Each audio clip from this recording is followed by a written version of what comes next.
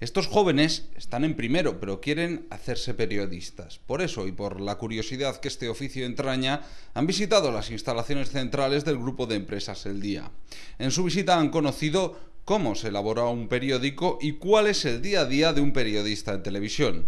En su visita además han podido compartir con sus inquietudes con el director presidente del grupo de empresas El Día, Santiago Mateo.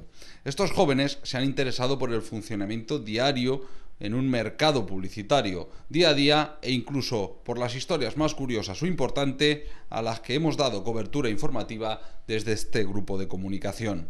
Todos ellos se han llevado buenos consejos y suponemos mucha ilusión.